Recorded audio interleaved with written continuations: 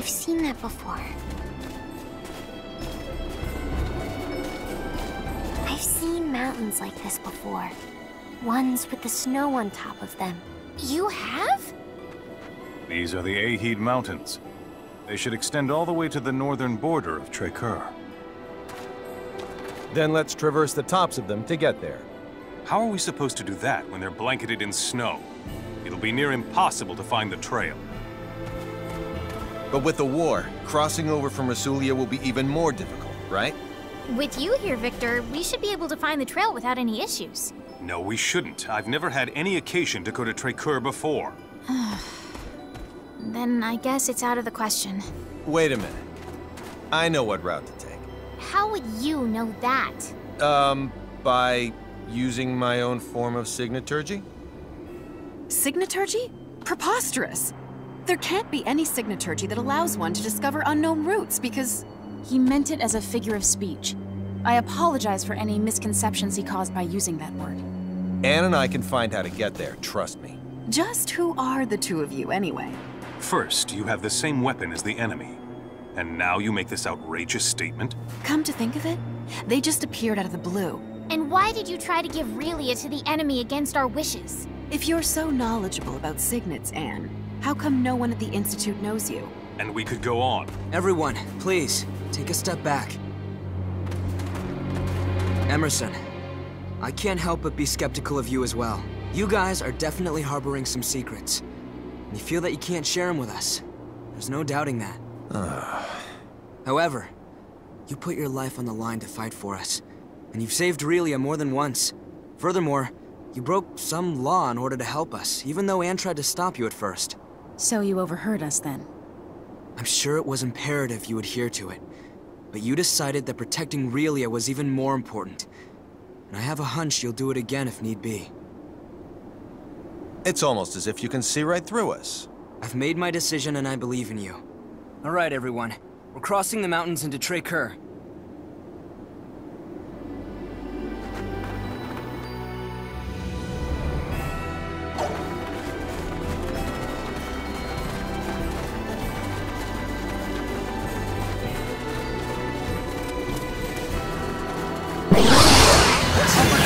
Strikes first as the upper hand.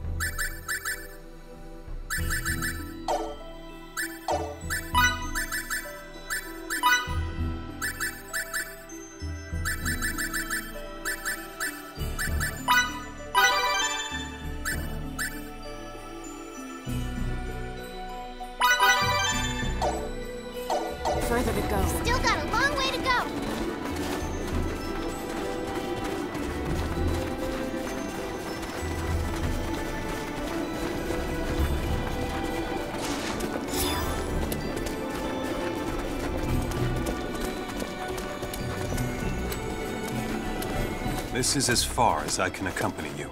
From here, I must head back to Resulia. But we...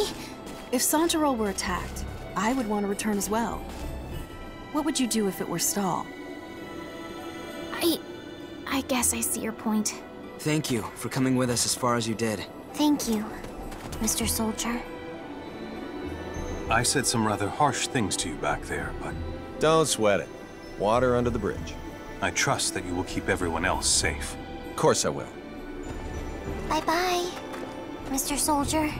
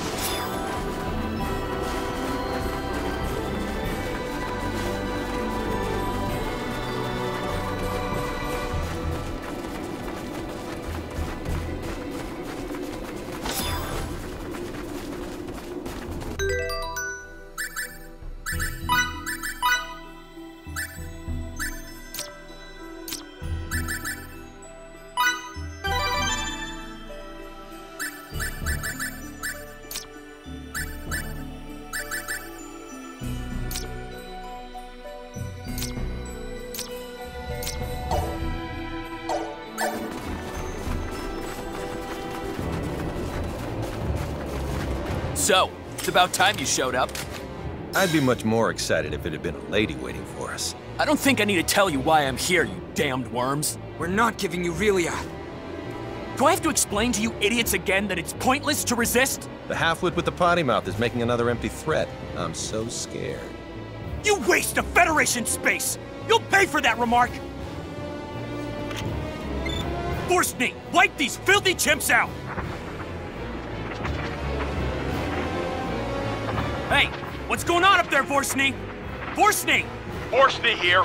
Three Federation ships have entered this sector. They have their shields enabled and are preparing to engage. We cannot offer any support at the moment. Wait, what was that? I have bad news, sir. We've detected transport signals emanating from the enemy starships. Impossible! How the tables have turned. You damned cheaters! Who violated protocol first? Oh, that's right. You. You unbearable little... Relia belongs to us! Give her up! You know, Victor, the way you say that implies that you think you're one of the best soldiers in the world. That was never my intention. Don't worry, I would never actually take it that way. I just think it's cute when you get defensive about stuff. You should show more respect. That sounds just like something Fidel's father would say. Birds of a feather flock together, as they say. Mr. Camuze and I are birds of a feather? You truly think so? Yeah, you're pretty similar.